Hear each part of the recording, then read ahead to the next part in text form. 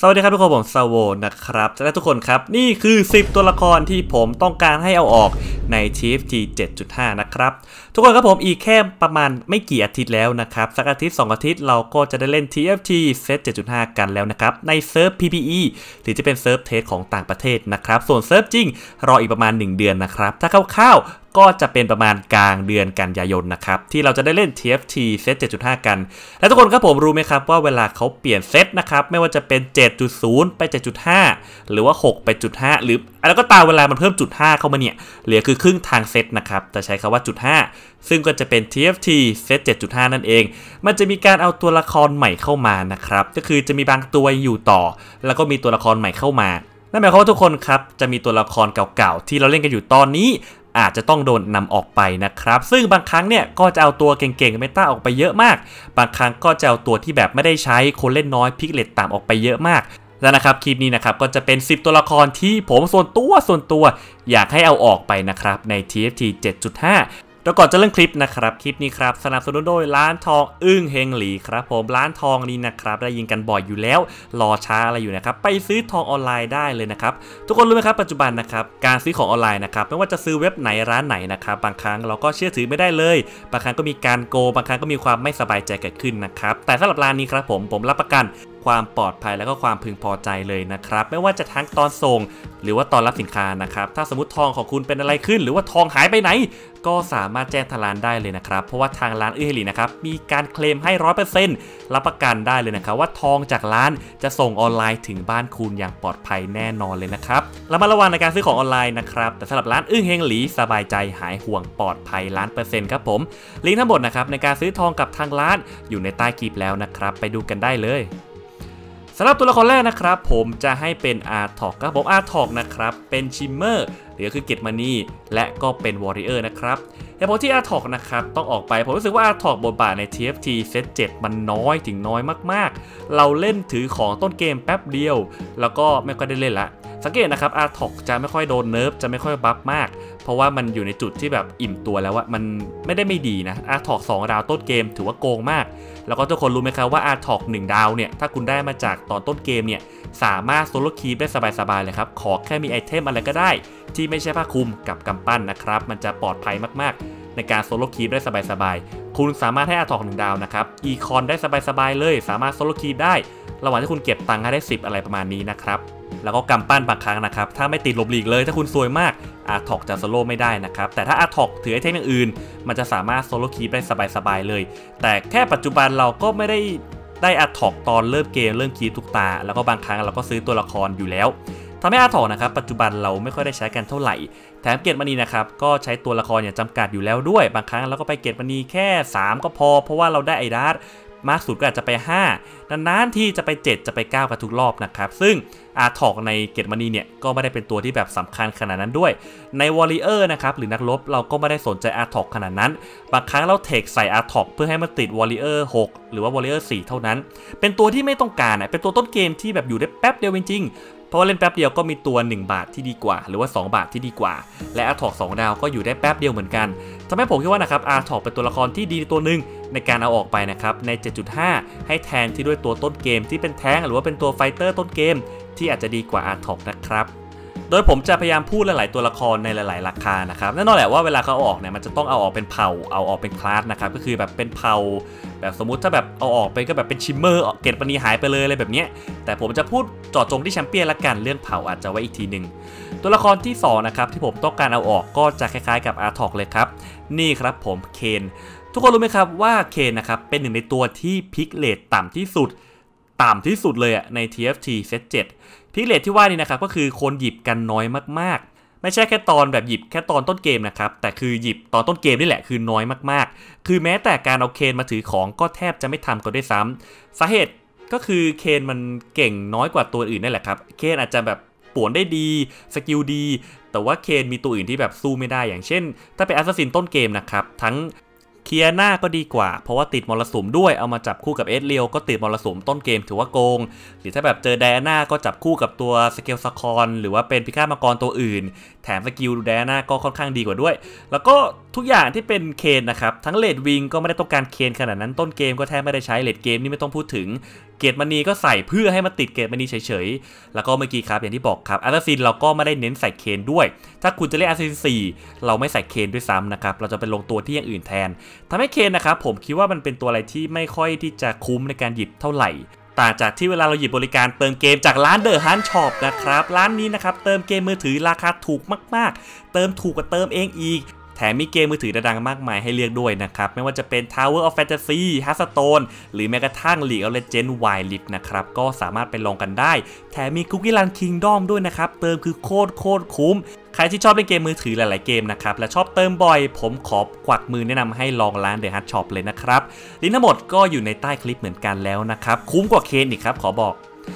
ตัวละครต่อมานะครับจะเป็นตัวละครที่ผมค่อนข้างที่จะอยากให้เอาออกมานานละก็คือไรส์นะครับไรซ์เป็นตัวละครที่ดีฮะและดีมากๆ แต่ผมว่ามีข้อเสียคือ ไรซ์เป็นตัวละครที่ไปต่อใน meta ไม่ได้ละครับ ทุกคนครับปัจจุบันนะครับเราแทบไม่เล่นไรซ์กันตอน late game กันแล้ว นอกจากคุณสามารถ high roll ไรซ์3ดาวได้ด้วยความรวดเร็ว หรือแม้กระทั่งคุณได้ Mage Conference นะครับที่จะเสกตัวละคร mage มาฟรีเราจะไม่ค่อยเล่นไรซ์3ดาวกันแล้ว เราจะให้ไรซ์เป็นตัวถือของเพื่อไปรอมังกรอ่าวชิน หรือว่าเอโซลก็ตัวเดียวกันดีกว่าอ่าวชิน หรือว่าเอโซลหรือว่าชิวาน่านะครับเพื่อที่จะได้ให้มังกรมาแบกต่อมากกว่า ซึ่งแต่ก่อนนะครับเรายังพอมี comp แบบ mage reroll เป็นไรซ์ reroll reroll ที่ level 7หาไซรัสหาไรซ์อะไรประมาณนี้ แต่ว่าปัจจุบันไม่มีแล้วครับ และไม่ว่าคุณจะ buff ไรซ์เก่งขนาดไหนนะครับตราบใดที่มังกรเวท 10 บาททั้งหลายเนี่ยยังอยู่ เราก็จะแทบไม่มีโอกาสได้เล่นไรซ์กันเลยครับ น้อยมากๆครับ คือมาเล่นได้นะ ถ้าแบบ 3 ดาวก็จะสามารถ win lobby top 4 ได้อยู่ แต่ถ้าเทียบครับไรซ์3ดาวกว่ามันจะสเกลเท่ากับมังกรเนี่ยไอพวกมังกร 10 บาทอย่างอ่าวชินอย่างเอโซลอาจจะสกิลแรงหรือว่าสกิลเร็ว หรือว่าสกิลกว้างกว่าไรซ์ก็เป็นได้นะครับ ผมคิดว่าไรซ์ถ้าอยู่ต่อใน 7.5 เนี่ย ก็เป็นได้แค่ตัวถือของต่อไปเท่านั้น แล้วก็ mage นะครับ ก็เล่นไรซ์เพื่อให้มันเป็นตัวแบกตัวถือของเท่านั้น พอเราจะไปต่ออย่างไงก็ตามเนี่ย ไม่ว่าจะเป็น mage อะไรต่อไปเนี่ย ส่วนมากเราจะขายไรซ์ต่ออยู่ดี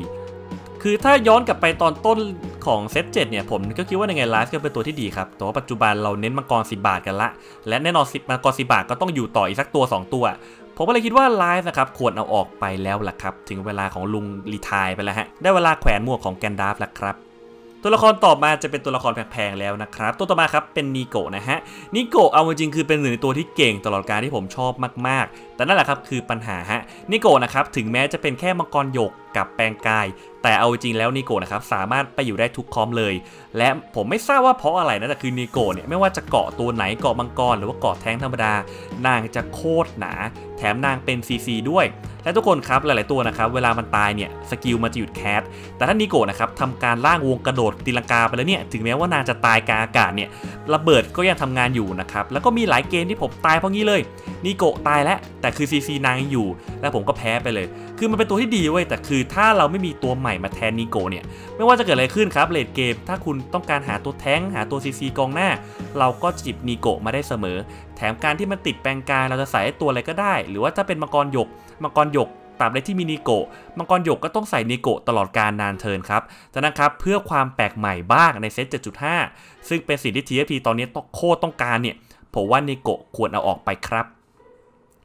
เหมือนเหมือนกับตัวต่อมาครับผมทารอนฮะทารอนเป็นในตัวที่ผมผิดหวังที่สุดใน TFT เซต7ในแง่ของการปรับ สมดุลของเกมนี้แหละครับ ทุกคนครับตอนที่สมัยเราเล่น PBE เนี่ยทารอน assassin guild เนี่ยหรือก็คือเป็นทารอนสมาพันธ์เนี่ยถือเป็น comp ที่โคตรโคตรโกง เป็น comp ที่โกงมากๆ คุณเล่นไรซ์คุณเล่นทารอนผสมกับ assassin ตัวอื่น เป็น assassin 4กองหน้าเป็นทหารม้าติดกิลอะไรมากมาย เป็น comp ที่โคตรเก่ง และตอนนั้นนะครับณตอนนั้นนะถึงจะแบบแวบเดียวทารอนเป็นตัว carry หลักได้เลย ปัจจุบันนะครับทารอนนะครับเป็นตัวประกอบประกอบ ถ้าคุณไม่ได้ใส่แว่นอาจจะมองไม่เห็นมันเลยก็ได้ครับ เป็นตัว carry รอง 2 หรือ 3 เท่านั้น comp ไซย่าที่แบบใช้ไซย่ากิลเนี่ย เราจะเห็นทารอน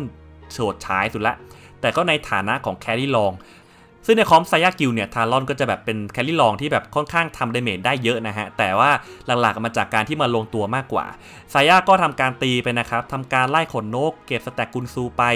ระหว่างที่ทารอนนะครับ ก็ทำ damage ด้านหลังเหมือนกัน อาจจะใส่แค่ IE ชิ้นหนึ่งกระโดดไปคู่กับเคียนาเคียนาก็ติดมรสุมกับตัวอื่นอะไรประมาณนี้ทารอนก็จ้วงกองหลังไป หรือแม้กระทั่งทำ damage ไปด้วยครับ แต่ว่าก็แค่นั้นเลย ปัญหาหลักมันอยู่ที่สกิลมันอะคือทารอนสกิลแต่ก่อนที่เป็นสกิลตีและเลือดไหลก็โคตรดีฮะ แต่สกิลในปัจจุบันเป็นคือล้วงตัวหนึ่งกลางมีด แล้วก็สุ่มมั่วไปหาอีกตัวหนึ่งเลย ปัญหามันคือคิดเทคมันอะทารอนนะครับ เวลามันตีสักพักใช้สกิลปุ๊บ มันจะล่องหนมันจะกลางมีดครับ มีดก็ทำดาเมจไป แต่ปัญหามันอยู่ที่ตัวที่มันเล็งอะคืออ่านเทคทารอนนะครับ มันจะบอกว่ามันจะสุ่มอะมันสุ่มไปหาตัวละครอะไรก็ได้ แล้วก็ไปล้วงต่อ อารมณ์แบบคุณกระโดดหาให้ทารอนกระโดดหาคอกิ ล้วงถูกตัวแล้วคอกิโดนแทงอีกนิดนึงมันก็แตกสลายหายไปแล้ว ทารอนกระโดดหายหายตัวไปกับคมดาบแล้วก็หายไปเลยครับ คอร์กี้ก็ดูเลือดต่อแล้วก็คุณก็แพ้ไปเลย ปัญหาของ assassin ปัจจุบันก็คือแบบตัว 4 บาทแพงแต่แบบเป็นสกิลที่แบบ high roll เกินอะล้วงอย่างดีวางตัวยังถูก แต่ว่าพอตัวละครมาใช้สกิลมันกลับหายไปที่อื่นซะงั้นอะไปล้วงแท้งแทนเป็นไปล้วงตัวอื่นแทนทางที่แบบวางถูกแล้วว่าตัวละครแบบนี้นะครับที่มีสกิลแบบนี้เนี่ยมันทำให้เล่นยากมากๆ เพราะว่า หลาย ๆ ครั้งนี่คือมันเล็งถูกตัวละ แต่ว่าสกิลมันเปลี่ยนมันไปหาตัวอื่นแทน แล้วก็คุณก็แพ้ได้เลย ถ้าล้วงถูกตัวก็ดีไป ถ้าล้วงผิด หลังจากนั้นก็แย่เลยครับก็แพ้ไป ทารอนเลยเป็นได้แค่ตัวสำรองเท่านั้น เป็นตัวแบบ carry รองเท่านั้นแล้วนะครับถึงเวลาที่เราจะแก้ปัญหาครับผมในหนึ่งในฐานะ main มือสังหารทุกคนนะครับ ในชมรมอาร์ซ s ซินคีทุกคน ผมต้องการให้ทารอนนะครับ ออกจาก TFT เซต7ไปครับ ต่อมาเราจะมาเริ่มพูดถึงมังกรกันบ้างนะครับชิโอยูฮะ ขอสต็อปทุกคนอยู่ก่อนเลยครับ ใช่ครับชิโอยูคือหนึ่งในตัวที่ดีที่สุดในเกม แล้วก็เป็นหนึ่งในตัวที่ปรับสมดุลยากที่สุดในเกม มีแค่นี้แหละครับเท่าที่เราเล่นมา ปัญหาของเชิโอยูคือถ้ามันปรับเก่งนิดนึงก็โคตรเก่งไปเลยมังกรโยกเล่นได้บลาบลาถ้าปรับให้กากลงก็เหมือนกับแพทก่อนๆที่เราเล่นไม่ได้ครับเขียวเล่นไม่ได้ก็ไม่มีใครเล่นเลยมันไม่มีสมดุลที่แบบเออคอมนี้แพ้ทางคอมนี้นะเชียวยูความจริงมาแพ้ทางคอมนี้นะคือมันแทบไม่มีเลยครับเพราะว่าความ perfect ใน comp ของมันเนี่ย นิโกะใส่ของแท้งเชิโอยูใส่ของ AD กายภาพ แล้วก็กองหลังแอนิเวียใส่ของเวท แถมการที่คุณเป็นมังกรหยก 6 เพราะว่าเวลาคุณใส่ชิโอยูบวกกับตัวอื่นคุณจะได้ 6 ตัวพอดี รูปปั้นนะครับ ก็ทำให้มันตีเร็ว แถมมี heal อีกด้วย แถมมี heal จากโซรากาอีกด้วยก็ได้ แถมเป็น debuff อีก แม่งโกงเกินว่ะ แล้วก็อย่าลืมครับชิโอยูเวลาใช้สกิลมันทนซีซีด้วย ก็คือตบเละแม่งก็คือกาลิโอจากในเซตเซตหกอะเซตเซตหกนี่แหละ แต่นะครับชิวยูนะครับมันปรับสมดุลยาก แล้วก็ผมหวังว่า TFT เซต7.5 เขาจะเอามังกรตัวใหม่เข้ามาแน่นอนแหละผมว่ามันเอามาอยู่แล้ว ยิ่งเป็นตัวใหม่ที่หลุดมาเลยด้วยยังไงก็เป็นมังกรผมหวังว่ามันจะแบบเป็นมังกรหยกตัวใหม่ แทนชิวยูไปเลยก็ได้ครับ เพราะว่าเราสนุกกับชิวยูพอละถึงเวลาเปลี่ยนตัวบ้างครับ เหมือนกับเปลี่ยนตัวตัวนี้ครับผมเปลี่ยนตัวไซเฟนออกไปครับ ทุกคนครับการที่สเกลอะไรที่ level 7 โกงสุดก็คือการเจอมันนี่แหละครับถ้าคุณกำลังแบบคอขาดบาดตายเลือดจะหมด ตัวจะแห้งนะครับ คุณสุ่มเจอไซเฟนปุ๊บคุณกลับมาพองโตแล้วก็เก่งทันทีเลยครับไซเฟนนะครับเป็นตัวที่แบบคุณเจอเร็ว คุณก็ snowball ยาวเลย คุณเจอช้ามันก็สามารถทำให้คุณ comeback ได้ อาจจะ save จากที่ 8 กลายเป็นที่ 6 หรือว่าที่ 5 เลยก็ได้ meta ปัจจุบันนะครับหรือว่าไม่ใช่ meta เป็นนิสัยการเล่นของปัจจุบันเลย คือการไปเลยว่า7และสุ่ม ให้เยอะกว่าปกติกว่าแต่ก่อนที่เราเคยเล่นมา เพื่อมีโอกาสเจอไซเฟนเจอชิวยูเจอเดจ้าครับผม ซึ่งผมคิดว่าไซเฟนอยู่ top meta มาตลอดตลอดเลย ไม่ว่าจะเป็นไซเฟนที่แบบจับคู่กับวาลัสไซเฟนถึกทนไซเฟนกับอีลี่ที่เป็นแมงมุม คือไซเฟนเนี่ยมันจะอยู่ตลอดเลย และปัญหาของไซเฟนครับคือไซเฟนเนี่ยสเกลกับตัวเอง หรือไซลัสได้สบายๆต่างจากที่แบบถ้าคุณจะให้ชิวยูเก่ง คุณต้องให้ชิวยูยืนคู่กับนีโก ถ้าคุณจะให้เดจ้าเก่ง คุณต้องเจอนูนูกับยาสุโอะไอดาจะสเกลกับกองหลังที่เหลืออยู่แล้ว ถ้าไม่มีกองหลังไอดาก็ทำอะไรไม่ค่อยได้ แต่ไซเฟนครับ ถ้าแบบคุณไม่ใส่ไม่ต้องใส่ไซลัสก็ได้ สามารถสู้คนเดียวๆได้สบายๆเลยทำให้ผมคิดว่าครับไซเฟนมาอยู่ top meta ตลอดเลย และผมต้องการให้เปิดโอกาสให้ comp อื่นบ้าง ผมเลยอยากให้เอาไซเฟนออกครับซึ่งในคลิปนี้เนี่ยผมไม่ได้เอาเดจ้ามาไว้เพราะคิดว่าเดจ้าเนี่ยยังเหลือโอกาสให้เล่นอีกเยอะ แต่ไซเฟนกับเชียวยูสตัวนี้เนี่ยถึงเวลาเอาออกไปได้แล้วครับ ต่อมาที่อยากออกนะครับคือบาร์ดครับผม บาร์ดเป็นตัวที่ดีมากเว้ยแม่งตัวที่โคตรดีมากๆ ถึงแม้ว่าผมจะเผลอใส่โมเลโลให้มันก็เถอะ ซึ่งแม่งไม่ติด แต่ผมคิดว่าบาร์ดนั้นเป็นตัวที่แบบดีเวอร์เกินไปอะสังเกตนะครับ comp ทุก comp นะครับถ้าคุณมีลูลูคุณใส่บาร์ด ถ้าคุณมีอะไรก็ตามนะครับที่เป็นลี้ลับคุณใส่บาร์ด comp ไซย่าก็ใส่บาร์ดได้ comp guild ก็ใส่บาร์ดได้ comp มังกรหยกก็ใส่บาร์ดได้ตลอด comp mage ก็ใส่คือบาร์ดแม่งอยู่ทุก comp เลยเว้ยแล้วคือไม่ว่าคุณจะเกิดอะไรขึ้นเนี่ยบาร์ดไม่ได้เป็นตัวที่แบบทำให้คุณชนะเว้ยแต่มันเป็นเหมือนกับเป็นตัวอุดตัวสุดท้ายแบบชิ้นส่วนชิ้นสุดท้ายจิ๊กซอว์สุดท้าย ที่ทำให้ comp ของคุณแม่ง perfect ไปเลย คุณได้ลี้ลับ แถม buff สมาพันธ์ก็คือบวก mana เวลาตีไปด้วย comp มังกรทั้งหลายครับเอาชิน comp เอโซก็ใส่บาร์ดได้สบายๆ ถึงแม้คุณจะไม่ใส่ลูลูก็ใส่ได้ เพราะว่าบาร์ดแม่ง buff ดีเกินไป แถมบาร์ดนะครับ ถ้าแช่ได้ก็การันตี buff โอกาสเจอตัวละครแพงอย่างน้อยสักเปอร์เซ็นต์น่ะซึ่งแม่งก็โกงเข้าไปอีก คนที่ snowball บาร์ดแช่ปุ๊บก็มีโอกาส drop โนดตีโนดตีก็เพิ่มโอกาสเจอตัวทองเข้าไปใหญ่คือแม่งแบบโกงมาก และคือบาร์ดมันอยู่ทุกที่อะ เพราะเป็นงี้ครับตอน late game เราจะไม่ใส่ตัวละครอะไรอย่างอื่นเลย ที่แบบเป็นตัว support นอกจากบาร์ดนี่แหละครับที่จะมาตัวแรก ๆ ซึ่งในบรรดาตัวทองทั้งหมดเนี่ยที่เป็นตัว support เนี่ยซึ่งก็มีเกือบทั้งเกือบทั้งเซตเนี่ยผมว่าบาร์ดเป็นตัวละครที่โกงสุดแล้วครับ มันเก่งแล้วก็คิดว่าเราเล่นมันเยอะพอละถึงเวลาที่เราต้องเปลี่ยนตัวบ้างแล้วครับ ให้ตัวอื่นเป็นตัวสีทองเป็นตัว support แทนบาร์ดได้แล้วครับ ตัวต่อมานี่ตรงกันข้ามครับเป็นไพค์ครับผมไพค์เนี่ยตอนแรกผมเห็นครั้งแรกเนี่ยนึกว่าแบบมันจะเป็นแบบความหวังที่แบบความหวังสุดท้าย ของ assassin ในการแบบเวลาเราเล่น assassin 4อะ6อะไรประมาณนี้เลยนึกว่าแบบมันจะอารมณ์อากาลิที่ได้ปุ๊บแล้วคือสเกลเก่งไปเลย ที่ได้ปุ๊บแล้วแบบ comp assassin หรือว่า comp comp นั้นเนี่ยเก่งเวอร์ไปเลย แต่ไม่ฮะไพค์เนี่ยจะเป็นมือสังหาร หรือว่าเป็นลวงตาก็จริง แต่ว่าพอมาเล่นจริงเนี่ยมันจะเป็นตัว carry รองที่แบบ ที่ 3 ไปเลยหรือว่าที่ 2 ที่3อะเราจะมีไซเฟนใช่ไหมครับ เราจะมีอิลลี่2ตัวเนี้ยจะเป็น carry หลัก และคุณค่อยๆ เผื่อใจไปแบบเออเผื่อเจอไพค์ค่อยใส่ไปอะไรแบบเนี้ยซึ่งพอไพค์มาก็แบบทำประโยชน์บ้างทำประโยชน์นิดนึงบ้าง การที่ไพค์นะครับ X แล้วก็สังหารทันทีเนี่ยตอนแรกถือว่าเออโคตรโกงเลย แต่พอเล่นจริงนะครับคือแบบบางครั้งคือแทบสังหารไม่ได้เลยบางครั้งก็คือแบบ X ไปแล้วก็แบบไม่ตาย แล้วก็ไพค์ก็ตายพอดีบางครั้ง X ไปแล้วก็แบบได้ตัวหนึ่งได้ 2 ตัวแล้วก็แค่นั้นเลย ถึงแม้ว่าสกิลไพค์มันมีตัด heal ด้วยซึ่งแม่งโคตรดี แต่ว่าพอเล่นจริงเนี่ยเราไม่ได้ต้องการไพค์ขนาดนั้นเลย comp assassin ก็แบบเล่นไม่ค่อยได้อยู่แล้วด้วย เราก็เลยไม่ต้องสนอยู่แล้วว่า assassin จะเล่นได้ไหม comp พายมังกรก็เน้นพวกไซเฟนเน้นพวกไซลัสถ้าเป็นแต่ก่อนก็จะในอิลลี่เป็นหลักมากกว่า คือไซเฟนมาก่อน ตามด้วยไซลัสแล้วก็ที่เหลือก็เป็นตัวอื่นมากกว่า ไพค์ถ้ามาก็ทำให้เราชนะ top 4ได้ง่ายขึ้น ถ้าไม่มาก็มีวิธีการอื่นอยู่ ผมคิดว่าในฐานะของตัวละคร 5 บาทที่แบบ ไม่เชิงเป็นตัว support เนี่ยมันทำหน้าที่ได้ไม่ค่อยดีเลยครับ ผมต้องการตัว assassin ตัวอื่น หรือว่าต้องการตัวทองตัวอื่นที่แบบมีบทบาทเยอะกว่านี้นิดนึงสลับไปไพค์ถึงเวลาออกแล้วครับ ตัวต่อมานะครับตัวสุดท้ายของคลิปนี้นะครับเป็นโซรากาโซรากาครับผม ทุกคนครับผมเบื่อความฮิวของ TFT เซตนี้ว่า TFT เซตนี้เซต7เนี่ยฮิวซีซีเยอะมากๆ และเอาจริงคือไอ้ comp ที่มันเป็น comp ของโซรากาเนี่ยไอ้ comp มังกรหยกเนี่ย ก็ฮิวเยอะอยู่แล้ว และโซรากาก็ heal เข้าไปอีก คือผมไม่ได้ว่าโซรากามันแย่นะ แค่ส่วนตัวผมคิดว่าโซรากาไม่จำเป็นต้องเป็นมังกรหยกอะ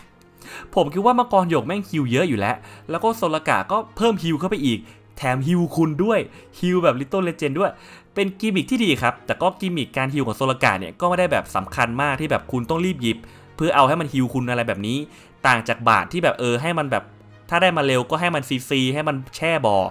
ให้มัน drop โดนตีเพิ่มโอกาส drop แชมเปี้ยนแพงอะไรแบบนี้ แต่ Soraka ผมว่าแบบมันอยู่ผิด comp มากเลยอะถ้า Soraka เป็นลี้ลับหรือเป็นปราชญ์อาจจะดูดีกว่านี้นะ แต่ก็ไม่ได้อีกมันก็โกงเกิน ผมคิดว่า Soraka มันอิ่มตัวแล้วว่าแล้วก็ comp มังกรหยกควร ผมว่าถ้าเราไม่เอา Soraka ไม่เอา Shi Oh Yu ไม่เอา Neeko ออกอะผมว่า comp มังกรหยกยังไงก็เล่นเหมือนเดิมอะเอาจริง Soraka ไม่ได้เป็นตัวที่แบบโกงเวอร์ขนาดนั้นใน comp มังกรหยกนะครับ แต่ใน comp อื่นๆน่ะอย่างแบบแต่ก่อนก็เป็น comp Elise หรือว่า comp อะไรก็ตามที่แบบมีแปลงกาย แล้วใส่มังกรหยกแค่3อะ Soraka จะเป็นตัวสุดท้ายที่แบบจะใส่ได้ อย่างเช่นแบบนีโกใส่นาแล้วก็อีกตัวนึงไม่รู้จะใส่อะไรมังกรหยกก็เป็นโซลกะโซลกะก็ฮิวอะไรประมาณนี้ฮะ คือมังกรหยกก็ฮิวอยู่แล้วด้วย คือกลายเป็นว่าใครที่ไม่ได้ออกตัดฮิวแล้วคุณเจอมังกรหยก ที่มีโซลกะโอกาสชนะคือน้อยมากๆ และปัจจุบันคือไอ้เขียวก็โกงอยู่แล้วด้วย การมีโซลกะ การมีมังกรหยกฮิวมันอีก แม่งโกงเวอร์เลยครับ ผมเลยคิดว่าโซลกาเนี่ยมันไม่ได้จำเป็นขนาดนั้นที่จะเป็นตัวทองแล้วก็แบบเป็นตัวที่จะแบบเอามาใส่อะและในโอกาสที่คุณไม่ได้เล่นมังกรโยกโซลกาอาจจะฮิลได้นิดนึง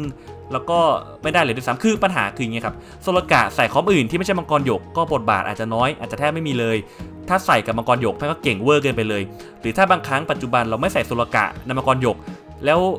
เราจะใส่โซลกาที่ไหน คือจริงๆคือปกติเวลาผมเล่นรีลับสี่มังกรโยกเนี่ยเราก็ไม่ได้เน้นโซลกะ เพราะว่าทุกอย่างมันลงตัวอยู่แล้ว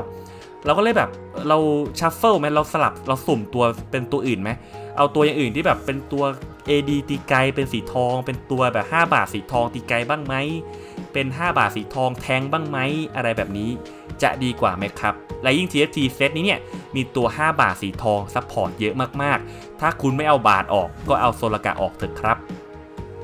เป็นไงกันบ้างครับทุกคนสำหรับ 10 ตัวนี้นะครับที่ผมอยากให้เอาออกผมเชื่อนะครับว่าบางคนก็จะแบบเออตัวนี้มันดีอยู่แล้วเอาออกทำไมอะไรแบบนี้ แต่ก็ถือว่าคิดไว้ครับคือ TFT ทุกเซตอะเขาจะเอาตัวละครที่คุณชอบออกเสมอแหละ ผมก็แค่แกล้งเป็นไลออนแป๊บหนึ่งเท่านั้นเองยังไงก็นี่เป็นความเห็นของผมนะครับคือสุดท้ายเนี่ยผมแค่ต้องการให้มันมีอะไรใหม่ๆบ้างถ้าไซเฟนไม่เอาออก ถ้าเชียวยูไม่เอาออก เมตาก็จะเป็นเมตาเดิมๆ แล้วก็เซต 7.5 นะครับ ผมกลัวว่าเมตามังกรก็จะยังอยู่ต่อ และการที่มีมังกรตัวใหม่มาแน่นอนแล้วเนี่ย ถ้ามังกรตัวเก่าไม่ออก มังกรก็จะกลบทุกอย่างหมดสิครับ ถ้าคุณได้ Dragon Alliance Dragon Horde คุณใส่มังกรตัวเก่า มังกรตัวใหม่แล้วเราจะเหลือที่ให้เล่นอะไรกันล่ะครับ เราถึงเวลาเปลี่ยนตัวละครแล้วครับ และผมมั่นใจว่าถึงแม้จะเสียดายที่แบบอุตส่าห์วาดแอนิเมชันอุตส่าห์ทำ Shi Oh Yu ทำ Sy'fen มาเนี่ย แต่ก็ถึงเวลาเอาออกเถอะนะครับ เพื่อความสดใหม่และความสนุกใน TFT Set 7.5 ที่จะมาในอีกไม่กี่อาทิตย์นะครับ ถ้าทุกคนนะครับมีตัวละครที่อยากให้เอาออก หรือมีตัวละครอะไรที่แบบคิดว่าอยากให้เซฟไว้อยากให้อยู่เล่นต่อเพราะแบบเออมันก็โอเคอยู่นะ อย่าลืมมาคอมเมนต์กันด้านล่างได้เลยนะครับ ผมรอดูอยู่ว่าทุกคนอยากให้ตัวอะไรออกหรืออยู่บ้างนะครับหากชอบคลิปนี้นะครับอย่าลืมกดไลค์กดแชร์กด subscribe ผมด้วยนะครับ ปุ่มไลค์ปุ่มแชร์อยู่ไม่ไกลเลย แล้วก็ในขณะที่อยู่ตรงนั้นแล้วก็อย่าลืมไปดูลิงก์ร้านอึ้งให้หลีกับ The Hunt Shop นะครับ และเจอกันใหม่คลิปหน้าครับทุกคน สวัสดีครับ